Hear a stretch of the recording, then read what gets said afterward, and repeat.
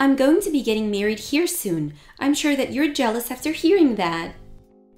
What? Uh, I'm sorry, but who is this? Oh, please. It's me, Tracy.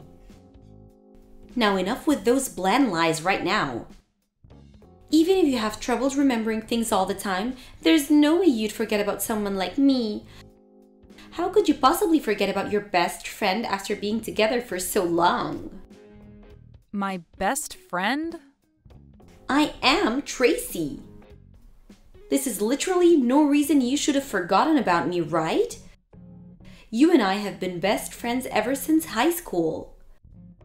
Tracy, huh? Did you end up changing your number or something? Because I don't have anyone in my contacts with your current number.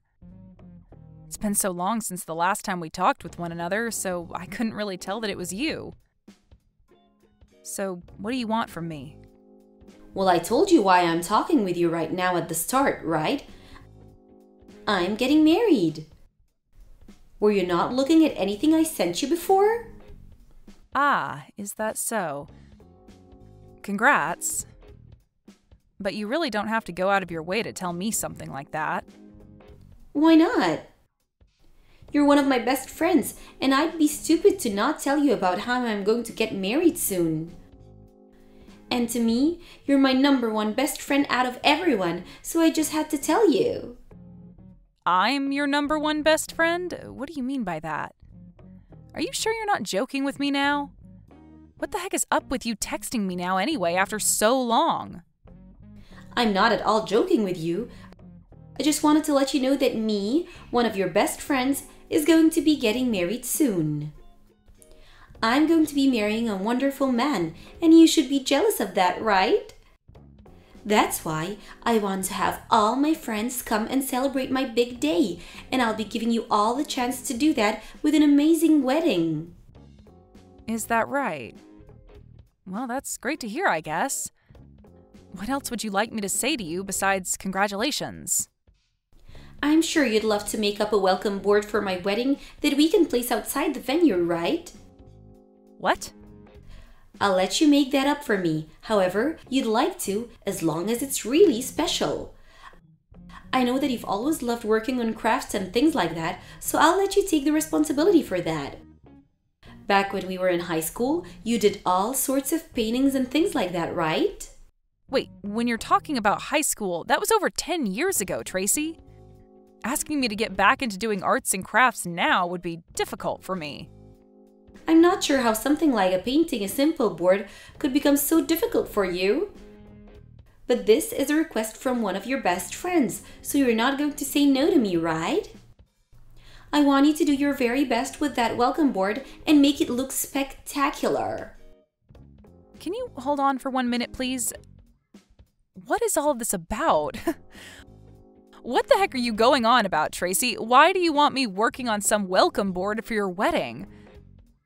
Shouldn't you be asking the reception hall to prepare that for you instead of me? They'll know a whole lot more about that sort of thing compared to me and will most likely have better tools for making it. Having me work on that board for you, well, it just won't come out as good as you think. Even if it's difficult for you, I'd like you to work on it. Now, can you stop fooling around with me when I'm trying to plan things for my wedding? Well, I'm also a little bit concerned about how you call me your number one best friend. Did you forget about what all you did to me a long time ago? Tracy, if you'd like for this whole conversation to be taken more seriously, can you calm down a bit and get real with me? Let's just forget about what all happened back then. There's no point in us being held down by the past when there's nothing we can do to change it. If you continue to waste your time thinking about what happened years ago, you'll find yourself living with no reason. I have no idea what you're going on about now, though. Even if you have a good point, I don't want to be hearing that sort of advice from you. I can understand why you'd like for the two of us to just forget about what you did back then, but. Well, I'm looking forward to seeing you at the wedding. I'm not going, Tracy. Do you want to go out for drinks or something as well before my big day? It's been so long since we last talked to one another in person, after all. I'm not going out to any place with you, Tracy. How many times are you going to make me say that before you understand? I'm not even sure what your plan is with talking to me after such a large amount of time has gone by. So please, just stop trying to ask me to come to your wedding and make whatever welcoming board you're asking for. Now, goodbye.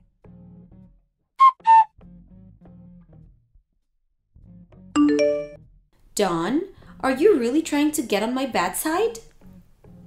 Huh? What is up with you this time? There's no way you'd actually be okay with making one of your best friends this upset on her wedding day. Huh? So today's the day of your wedding then? I don't really care, but what do you think you'll be achieving by coming at me all upset like that? I'm pissed off with you because you never even told me that you'd not be coming to my wedding. I'm no longer going to have the patience to forgive you after this. I'm cutting ties to you. You are?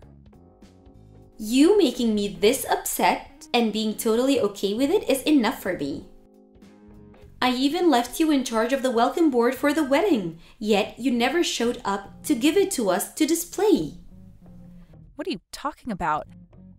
I don't even know anything about your wedding, like the time it's supposed to start, and even if I did, I wouldn't be making that board for you. So you're telling me that from the start you'd been planning on canceling on me without ever telling me that? I cannot believe you'd be doing this to your best friend. Oh my god. you seriously have zero clue what you're talking about right now, and it's making me laugh my butt off. I'm talking about how you never told me that you wouldn't come to my wedding, but it's too late now since my wedding day is today. So I'm going to be cutting ties to you for good. The fact that you're now this upset with me right now has me rolling on the ground. What? You're being a total jerk laughing at me being this upset with you. I'm seriously pissed off with you right now, Dawn. I had entrusted you with one of the most important things at my wedding, and yet you cancelled on me right before the wedding? Even if you're supposed to be my most best friend, I don't care. I'm going to be leaving you forever and will never forgive you ever again. I'm sure this won't get to you, but from the start, I'd said I wasn't coming. Huh? Can you tell me again why you're getting so upset with me for no reason? Actually, I never even got a formal invitation from you to the wedding, so there's that. Where did you end up sending that invitation, if you actually did send it in the first place? I'm sorry, but that invitation never got to me, so you must have sent it to the wrong address. But of course, you had the wrong address because you don't even know where I'm living now. What are you going on about? That's a load of crap. How did you never receive a physical invitation from me? I'm just telling you the truth, Tracy. Did you actually try to invite me to your wedding after all that happened between us? Of course I did. And why the hell would you say no to coming to my wedding? That right there is a bit of a surprise to me and rather troubling. The fact that you wanted to actually invite me to your wedding, of all things? huh? What the hell do you mean? Way back when, in high school, you stole my boyfriend from me and continued to pick on me for the rest of our time at that school. And ever since we graduated from there 10 years ago, I had made sure to cut all ties with you so that I'd never have to see or hear from you again. That's why right now, hearing you tell me that you want to cut ties with me after not coming to your wedding today makes me laugh. huh? What do you mean you cut ties to me back then? Are we not really good friends with one another? Oh, come on now, Tracy. You're actually going to make me pee myself laughing by calling us best friends. So you really are stuck in the past that badly that you can't see me as your friend. Stop worrying so much about what happened back then, you emotional loser. I was able to forget about all of that only a few days after it happened. And as for your ex boyfriend, him and I are no longer together, so you don't have to worry about him anymore. So why the hell are you still so upset with me? I never said that I was upset with you still because of that event. That all has nothing really to do with me now, so I don't invest my time in thinking about it. And I think it's the right thing to do, not carrying those horrible memories around with me all the time. But what I do think about from time to time is how you ended up breaking things off with my ex after the two of you had gotten engaged. Things like that tend to spread around between friends, so eventually I have to hear about you. But what's wild is that after you had stolen my boyfriend from me way back then, you didn't want to make yourself look bad in front of everyone, so you started making lies about me being abusive towards him and that you were only saving him from me. Rumors like that still float around to this day, and I have to hear them over and over whenever I run into someone from high school. Always things about you and I. I never meant to make you look bad back then. Well, it's fine, Tracy. All that stuff is in the past now, right? I really don't care about any of that stuff anymore. And I'm not going to dig any deeper into the rumors that spread looking for things about you that I can take advantage of. It's all been water under the bridge, and that's why I've never come looking for you to talk about anything. But who cares about all that? What I'm upset about right now is how you canceled on my wedding on the day off. And I told you that I didn't get an invitation. I had cut ties with you a long time ago, or at least I thought I did, and that's why I never chose to tell you my new address after I moved. So that invitation was never going to make it to me, right? So you're telling me that I sent the invitation to your old house? That's what it looks like to me. I bet it's sitting in the mailbox of that place right now, still unopened. And I think that because you only know my old address and nothing about where I currently live, it might even end up being sent back to you soon if the new owner of that house decides to give it back to the mailman. But let me be very honest here. Even if that invitation had gotten to me like you'd planned, I would have said no to coming because I don't have the want to be around you. what? What do you mean?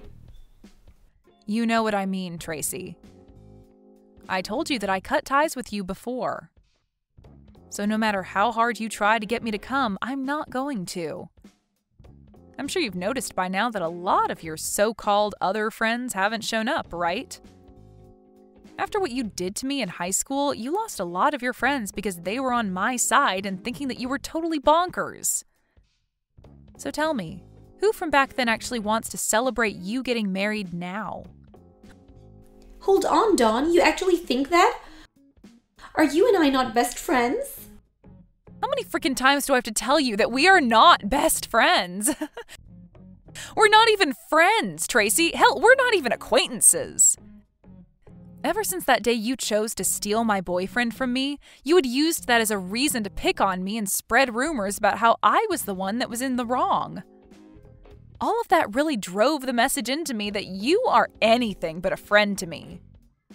I know from word around town that you love to go around and have fun with all kinds of men after becoming an adult, but you still like to call that event your biggest accomplishment, right?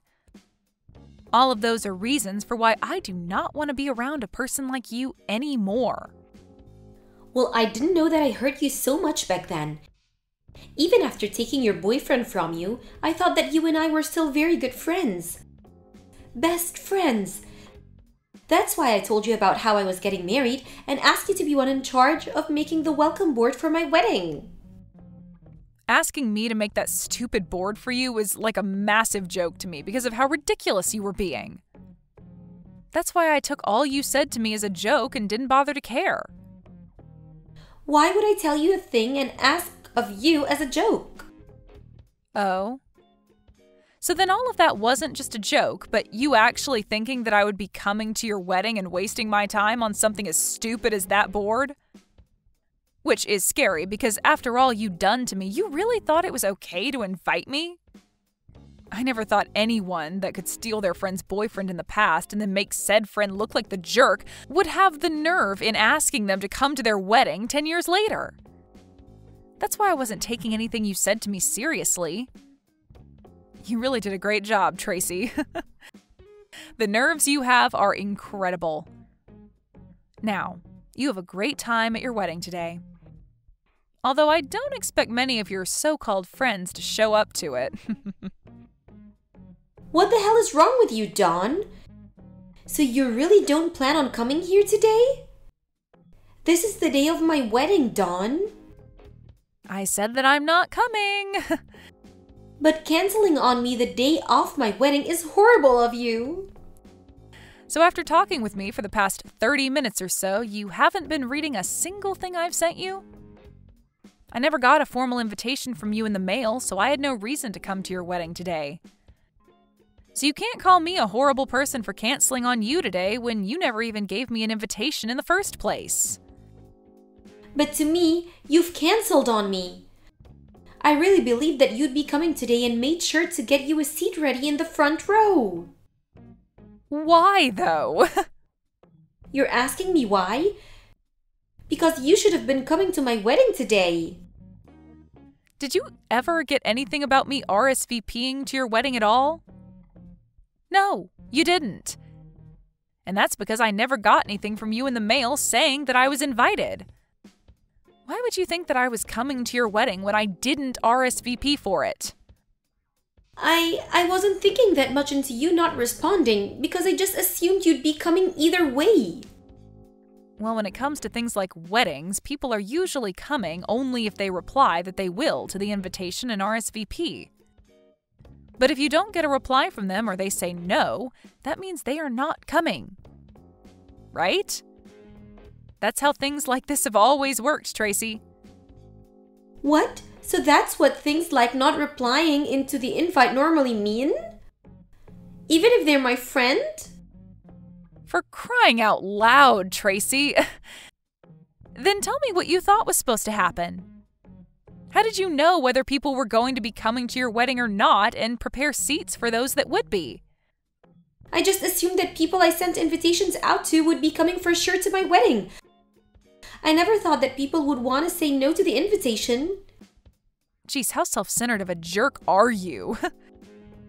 At this point, I'm surprised you even found a man willing to marry you. you actually think that because it's your wedding that everyone you invite would just give up their plans and anything else they have going on in life to come? There's no way that's the case. If you didn't get a response from the people you invited, that means they are saying no to coming. No response equals them not coming. Well, I didn't know anything about that. Nobody ever even told me something like that. Nobody would, because that's something that everyone knows the moment they're born, practically. Another thing I highly doubt is that you even knew everyone's current address. So it's a mystery as to how many of those invitations actually made it to the people you planned on inviting. I thought that me getting married and having this wedding would have made it the biggest event for everyone. I wanted everyone to come and see how happy I've become and that I got married before all of them. Jesus frickin' Christ. you thought that your wedding would be the biggest event for everyone? You think that your marriage means something to everyone? But even if it's not that big of a deal, I'm still getting married before you, so. That's at least proof to everyone that I'm still more important than you and that they should all come and see me happy. I'm already married, though, Tracy. Huh? I just never bothered to tell you about how I got married to my husband last year. You have to be lying, right? I never knew about you getting married. You never even uploaded anything about you getting married to any of your social media accounts. You're right. I didn't make any posts about getting married, but so what? I'm normally never posting anything and leave most of that stuff to my husband to do. And you're not even my friend, so I think I blocked you on everything after high school. What are you talking about? Let me just put it this way my husband does most of the posting due to his job, and you are blocked from seeing anything of mine, so you wouldn't have known. What job does he have? Well, he's pretty well known all over the world, so he's pretty picky about what gets shared. But I don't care about any of that because he's given me a wonderful life with our marriage. He's been so considerate and wonderful that I've never had to worry about what happened between us back in high school. then why are you acting like this? Why can't you just come to my wedding right now for me? I'm supposed to be your best friend and you should be celebrating my happiness. You're supposed to be my best friend? I don't think of you as anyone but a stranger, so there's no way I'm coming to your wedding. I told you again and again that I didn't get any invitations from you in the mail, so I wouldn't be coming in the first place. And even now, I don't want to come. But you still keep going on and on, thinking that I'm your friend and that I'm going to come. It's freaking annoying. I've had enough of you now, so can you just shut up and stay quiet? I'm sorry, Dawn. I want to apologize to you for everything, so could you please find it in your heart somewhere to make it to my wedding? If you don't come to my wedding soon, then my wedding's going to be a complete mess, so please, come here. No frickin' thank you. Why though? I have things of my own that I'm busy with. I already cut ties with you a long freaking time ago, and I don't have the time to come out and see someone that I don't care to know about. Now, have fun at your crappy wedding.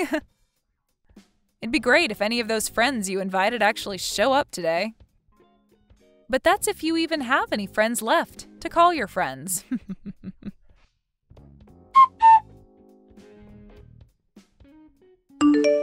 After that, none of those so called friends that Tracy thought she had ended up showing to her wedding, and that started to make her husband question things about her, and he called the wedding off. Tracy had originally planned to use her wedding as another way to pick on Dawn and make herself feel as though she was on top. But after everything that Dawn brought up turned out to be true, there was nobody around for Tracy to show off to. After Tracy had tried so hard to make this another chance for her to make Dawn feel bad, it turned out that this whole wedding was making Tracy feel terrible. Tracy tried in one last move to save her wedding to call those she invited, but soon learned that most of them had either blocked her or hated her enough to pick up the phone and tear into her. It seems that most of these people had moved out of town as well, so all those invitations Tracy relied so much on never even made it to her supposed guests. Soon after, Tracy's husband, although newly wed, found out about this part of Tracy's past and immediately took a 180 and asked for a divorce.